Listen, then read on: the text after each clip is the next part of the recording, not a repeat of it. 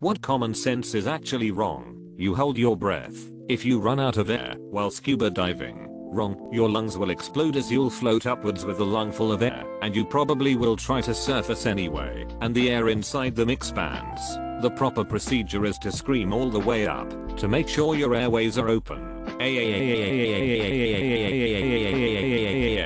Except you forgot about scuba diving 101. Don't effing dive alone. My regulator busted underwater once. I signaled my partner the out of air sign. He gave me his second regulator and we went up. Which was as easy as when we did the exercises. Just like the simulations. Sometimes, when someone is having a bad day, it's better to just listen and agree, rather than offer logical advice. When I worked in spectator event safety, we learned, sports stadia, that when an evacuation is happening, the safest place to go to is the playing field, as it is usually open air, and therefore low risk, if it is a fire evacuation. However common sense takes over crowd dynamics and people try leaving the way they came in from the other side of the building. So this common sense tray results in thousands of people flocking into burning buildings. An example of this was the Bradford City Stadium fire. A huge chunk of the crowd headed back into the burning stadium looking for exits despite open air, the pitch being meters in front of them. Sometimes, planning and training can count against you. Look at the Piper Alpha disaster in the North Sea. They were trained to muster in the fireproof accommodation block and await rescue. The only people that survived broke training and jumped over the side. Grenfell Tower Fire. UK. Any residents of the tower who called the fire service were told to remain in their flat unless it was affected, which is the standard policy for a fire in a high-rise building, as each flat should be fireproofed from its neighbors. Wikipedia. Many survivors told how they ignored this advice. 72 people died from that fire. Who knows how many would have escaped had that advice not delayed them while the fire spread. Don't go to bed angry, UMM. Me and my husband ignoring this rule has saved our marriage. Do you know how many stupid fights are caused by being tired? That's why I prefer the rule. No serious talks before 8am and after 10pm. Arguing when you're tired is not a good idea. The slower and more defensive you drive, the better. Couldn't be further from the truth. You need a mix of defensive and offensive to be truly be safe. Keep traffic flowing. And to prevent bottlenecks, don't be nice. Be predictable. Do not, ever, wait 24 hours before filing a missing persons report. If you have a reasonable suspicion that something happened to someone, call immediately. In crime shows, when they say the first 24 hours are crucial in a missing child case, they are not making it up. Ignore a bully, and they'll leave you alone. No, they just see a weak target, smack the shout at them, if they already made it physical. Note, it is morally acceptable to nut punch when they've made it physical themselves. Going outside with wet hair will not make you get you sick. It will make you feel cold as hell though. Source, I'm Canadian. Have showered. Common sense says sun isn't out, and it is cool outside. You don't have to worry about sunburns. Worst sunburn I ever got. I remember reading that 80% of the sun's harmful rays escape through the cloud layer. Source, a poster in my dermatologist's office. When there's snow on the ground you can actually get sunburnt worse due to the reflection of the rays from the snow. Same type of concept with swimming as well. Skiers need to wear UV goggles to avoid getting snow blindness caused by the high amounts of reflected light from snow. Just because you're not fat doesn't mean you're in good shape. I've been vegetarian for 15 years. Everyone thinks this means I eat healthy. I don't. My diet is mostly pizza and pasta, and whatever microwaves faster than it takes me to eat it afterwards. My best friend is vegan. My best friend is also a big curvy woman. My best friend cannot roll her eyes hard enough when she hears people ignorantly proclaim that fat vegans don't exist because vegan equals healthy equals thin. I can give you a list of candy and junk food that's vegan. Vegan does not necessarily mean healthy. Vegan just means there's no animal byproducts or ingredients used to make the food. I'm an underweight potato and I feel personally attacked. As a skinny person with a diet consisting almost entirely of cheese and caffeine, I felt it too. You're completely right. Source, My 125 pounds A that will probably have a heart attack at 25 for eating so bad. The harder you brush the cleaner your teeth get. All you're gonna do is cause gum recession. I was 40 before my dentist told me to take it easy brushing my teeth. I thought it was normal having to replace a brush once a month. The recommended time is 3 months, but not because you wear it out. Just because that chest nasty a little rinse isn't gonna clean that toothbrush out. After you use it, you'll scrub away your tooth enamel as well. Once that's gone, you're screwed. Was born without enamel in my teeth. Can verify, it sucks. Put ice on a burn do not do this. It can rip the skin do put the burn under cool water immediately. They now recommend lukewarm water, as cold water can irritate the burn. It's not irritation. Hot skin is still elastic, and shocking it with cold makes it contract and take on a deformed, and more painful, shape. Distance makes the heart grow fonder. Psychologists actually showed that it's the reverse, which is why LDR are very hard. Out of sight, out of mind is more accurate. I think this is an accurate observation in short term for someone that you see so often that if you are apart for a few days then you actually miss them because they are part of your routine. Think parents who read you a story every night, but have to travel for a day or two for work or a family emergency, or friends at school you talk to on the daily about everything, and then fallen sick or so you have dinner with every night who goes on a business trip for a week. Technically you miss the interaction until a new routine settles in. Distance makes the heart grow fonder. It absolutely does when talking about people that you don't like. Shy people are far more tolerable when they're over 100 miles away 99% of the time. Original source Roger de Rabutin. I'll refer to this post by slash u slash Herndon 17. Absence is to love what wind is to fire. It extinguishes the small and kindles the great. Running hot water to pour grease down the sink drain. That water always cools eventually and usually the same distance down the drain where it solidifies, creating a blockage. Although it's best to never put grease down the drain if you run cold water and run the garbage disposal, the grease will solidify when it hits the cold water. The disposal will chop it into tiny pieces and it will float down the line, creating no blockage.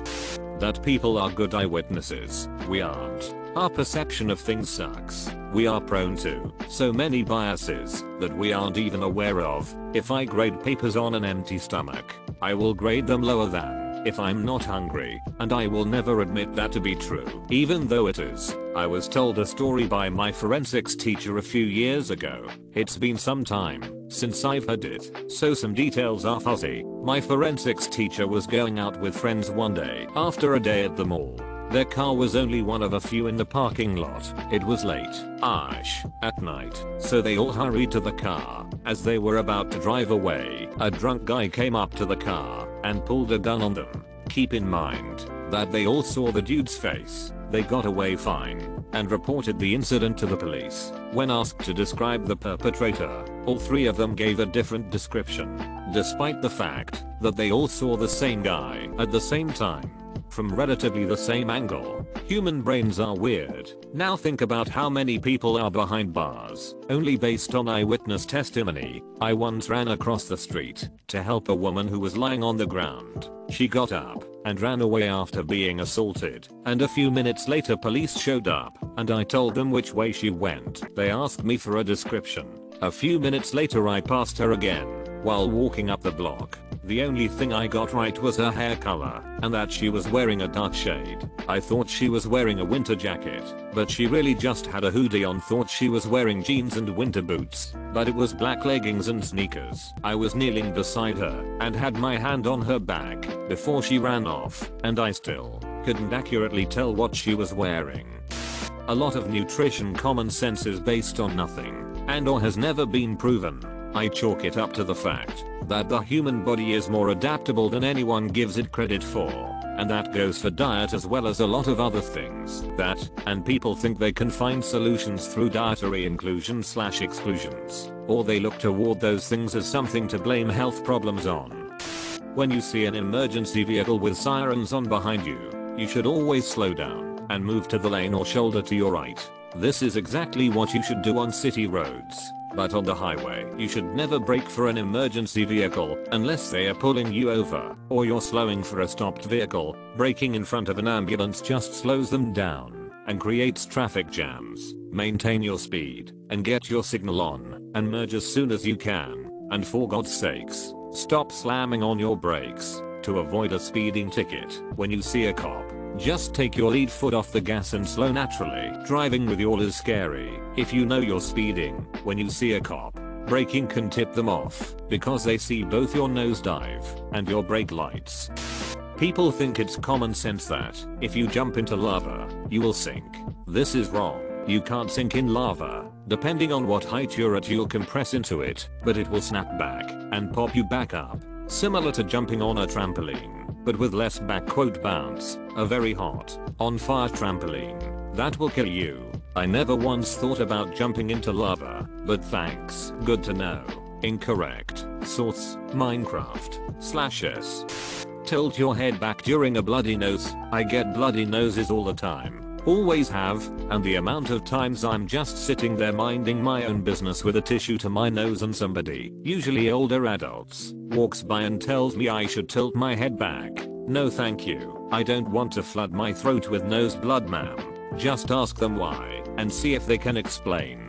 Oh my goodness, this. I had it at the dentist once, while getting an impression done, and they laid me back in the chair, before I could realize what was happening. I was like, what? No, you should know better. I'm unaware of the reason why you shouldn't. That birds will abandon their chicks if the chicks are handled by humans. Not they won't. Put the baby bird back. Not only will the parent birds continue to care for a baby bird return to its nest, but it's also possible to trick them into raising baby birds that aren't originally from their nest if you sneak them in there. Also, life is easier when you're young slash youth is the best years of your life. Growing up, everyone always said this is the best time of your life. Enjoy it while you can. They were super wrong. I hated school, hated being a student, and hated the lack of freedom. I work 50-ish. It varies. 42 72, but 52 is most common. Hours a week and it's great. I have money, freedom. I do what I want. Being a kid sucked. A harsher punishment doesn't deter someone from committing a negative act. Common sense would tell you that if a drug dealer is aware of a law that would sentence them to life in prison for dealing drugs, that they'll be less likely to deal drugs. However, research shows that people often don't consider the negative consequences prior to breaking the law. Research shows that it isn't the harshness of the punishment, but the certainty of it that deters crime. All fires can be put out with water. If you're in a relationship but develop feelings for someone else, break up with them because if you truly loved them, you wouldn't love the second person. Bullsh, don't cheat, don't have an emotional affair, but figure out what's going on in your heart and your head before throwing away a loving relationship over a crush. One size does not fit all. This is often said by people obsessed with the idea that everyone has the one. No one has just one person just made for them. You can love lots of people. You can get along with lots of people. You might love multiple people at once, or no one at all. All these are perfectly acceptable and normal. The only thing not normal and acceptable is hurting people you love, because you can't keep it in your pants if you and your partner want that. I've been struggling with this for a while now. My one passed away 6 months ago. One of the things she told me before it happened, she was terminally ill, so it didn't come out of nowhere was that she wanted me to love again. And I can't help but think what if I still love her more than the next person. It feels like a betrayal to her, and like it isn't fair to whoever comes next. IDK. The few people I have said this to dismissively say it's not time for thinking that, or you know she would want you to be happy or something similar. Sorry to just drop that on you. Good place to spend an hour learning about all the things you thought were true but aren't. It is rarely necessary to wait 24 hours before filing a missing person report, despite being referenced commonly in culture. 184 right square bracket 185 and society at large 186 right square bracket 187 right square bracket 188 the idea that Victorian era doctors invented the vibrator to cure female hysteria via triggering orgasm as a product of a single work. 189. Rejected by most historians 184 right square bracket 188 right square bracket 190 when a meteor or spacecraft enters the atmosphere the heat of entry is not primarily caused by friction but by adiabatic compression of air in front of the object. There is no such thing as an alpha in a wolf pack. An early study that coined the term alpha wolf had only observed unrelated adult wolves living in captivity. In the wild, wolf packs operate more like human families. There is no defined sense of rank. Parents are in charge until the young grow up and start their own families. Younger wolves do not overthrow an alpha to become the new leader, and social dominance fights are situational. Drowning is often inconspicuous to onlookers 322. In most cases, raising the arms and vocalizing are impossible due to the instinctive drowning response 322. Exercise-induced muscle soreness is not caused by lactic acid buildup. Water-induced wrinkles are not caused by the skin absorbing water and swelling 340. They are caused by the autonomic nervous system, which triggers localized vasoconstriction in response to wet skin yielding a wrinkled appearance 341 right square bracket 342. Alcohol does not necessarily kill brain cells 361. Alcohol can, however, lead indirectly to the death of brain cells in two ways. 1. In chronic, heavy alcohol users whose brains have adapted to the effects of alcohol. Abrupt cessation following heavy use can cause excitotoxicity leading to cellular death in multiple areas of the brain 362. 2. In alcoholics who get most of their daily calories from alcohol, a deficiency of thiamine can produce Korsakoff syndrome, which is associated with serious brain damage 363. Exercise-induced muscle soreness is not caused by lactic acid buildup,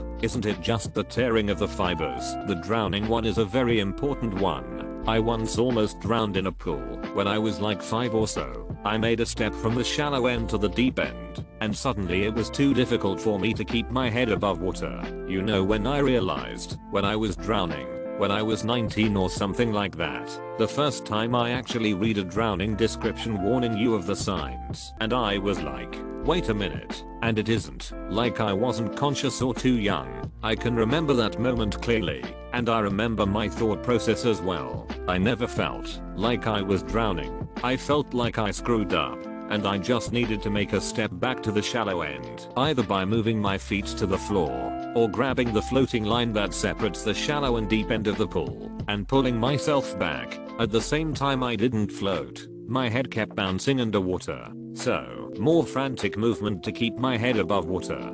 But, I did manage that, so, I wasn't drowning, I was keeping my head out of the water usually, but, I didn't have enough movement to do something about moving back to the shallow end without losing momentum and keeping my head above water. I could do one or the other, but not both. But I wasn't drowning. I was still just busy unscrewing my F up. So, yeah, I can definitely understand those weird and ironic stories of how a pool celebrates a year of no drownings, and someone then drowns at that party filled with lifesavers. If you drown you are not busy making big movements to warn others of your peril. Most likely you don't even think you are drowning, and you need all your strength and momentum to keep your head above the water, which are small and irregular movements. If the head is bobbing, that is a bad sign.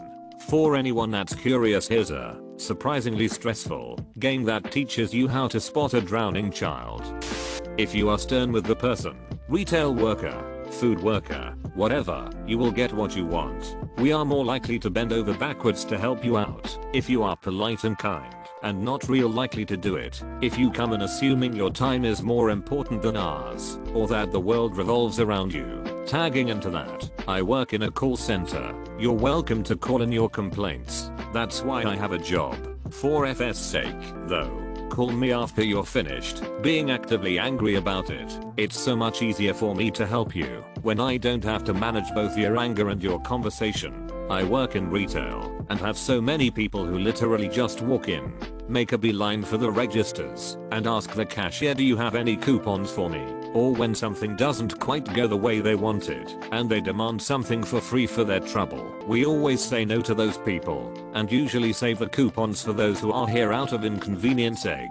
Exchanging a defective item waiting for their computer to be repaired, but also if they didn't ask for it. I tend to find that the coupon slash freebie is appreciated much more by those who weren't expecting it. Just throw your garbage in the parking lot, the cart people will pick it up. I mean, it's true, but at the same time, F you, cut people.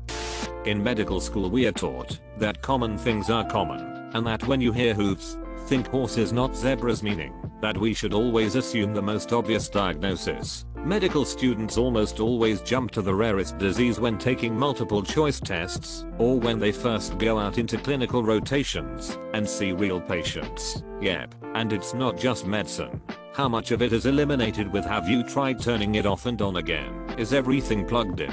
But sadly this does mean that when you've got a truly complicated problem you have to slog through the simple solution talk. It's always DNS, even when it isn't. It is. And the most important lesson, it's never lupus until it is. Unless your name is House. I once presented with knee pain because I mentioned I had probably done it weightlifting. The docs panicked, told me never to lift again had me keep my weight off it and walk with a cane for months while awaiting an MRI for a suspected crushed or split meniscus. Had I gone to a sports physio, it's likely I'd have been told it was a mild inflammation from valgus collapse and to improve my form. Fair play they did their best, but they saw zebra. Ditto when I got my bloods tested, and my estrogen was so low they suspected early menopause. Got to hospital, Consultant redid the bloods and showed me they were fine estrogen fluctuates a lot and it's been worried over nothing. It's not just about seeing zebra. If there's something in the river that's either a log or a gator then it's prudent to err on the side of the dangerous and not go swimming. An economy is not like a household budget. Probably not the answer you're looking for, but the notion that darker roasts of coffee are higher in caffeine content they're not. The caffeine gets cooked out the longer you roast the coffee bean. The lighter the roast, the higher the caffeine content. Ugh when I worked at the gas station this guy's like which coffee is the strongest, and I said in flavor or caffeine content, and he said both, and I told him to do our medium roast, and he said no I want the dark roast. And years later I'm still bothered, because he thinks he's right. He's off somewhere in rural Minnesota thinking he's hyped the F up on his sludge coffee, and I hate it. Why would he ask though, if you're just gonna ignore the advice anyway? What? F me this is news I've needed. I learned this on day one of my last barista job and was floored. Instantly told all of my friends, because the world needs to know. Astronomer here. In honor of the equinox today, the seasons are not caused because of our distance from the Sunday. In fact we are slightly closer to the sun during northern hemisphere winter over summer. Instead it is caused by the fact that the earth is tilted on its axis and we get more direct sunlight in summer over winter. Aka like how the sun sets earlier in winter over summer. There is actually a depressing video where some reporters went to graduation at Harvard and asked people what caused seasons. Most people didn't know citing the closer to the sun thing. People get mad when they don't get a tax refund, but getting a refund means you overpaid and loaned that money to the gov tax interest free for the year. You don't want to owe hundreds or thousands of dollars at filing, but if you owe less than $100, that's way better than getting a refund. You don't need to wait 30 minutes before going swimming after eating. This was just invented by public pools to stop people bringing food into the water or by parents wanting to take a nap after lunch before having to keep an eye on their children again. My grandpa told a lie when I visited him and my grandma in Florida. He said that the Florida law was that you had to wait 3 hours before getting in the pool after eating instead of the 30 minutes back home. He wanted a nap in the middle of the day. The origin that makes the most sense to me is that people don't want kids full of food to jump in the pool and vomit. I like to wait anyway, getting acid reflux while swimming suloax. Same with irritable bowel syndrome and spicy food. You should spend 2 months wages on an engagement ring as a marketing slogan. I heard an ad on the radio today. Some jewelry shop was offering 5 year payment plans for engagement rings. What a great way to start your marriage. 5 years of extra payments. I wonder how many people have 3 years of payments left after their divorce. Effing hell. That sounds horrendous. They say 3 years salary Michael Scott. Wow, maybe that's why he had to declare bankruptcy. I'm pretty sure expensive engagement ring are dying out, and for good reason. Opposites attract in regards to relationships. Most of the time, they do not. Pretty sure that's misinterpreted. Opposite personalities attract. Opposite values and interests do not. Look at a couple that has made it a long time. Normally one of them is much more outgoing than the other. People who have nothing in common tend to break up. A thanks for the silver. This is correct. You should find someone that shares common values, goals, and beliefs, but who can complement you by filling in the gaps where you are weak or help balance you out. Totally this. My wife is an extreme introvert and I'm extremely extroverted. We work well together because she knows when to tell me to calm down and I can help her at times when she doesn't want to work up the courage for something. She's the perfect complement to my personality. However, we have the same core values and belief systems. We like the same type of music, movies, and general entertainment. So as you said opposite personalities not necessarily total opposites. The concept of common sense, there's nothing common about it. Saying common sense to back up your reasoning is no different to saying, because I said so to your kid. Thomas Paine would like to know your location. If you're in a city that has a big issue with traffic congestion, widening the freeway isn't going to make it better, and it might actually make it worse thanks to induced demand.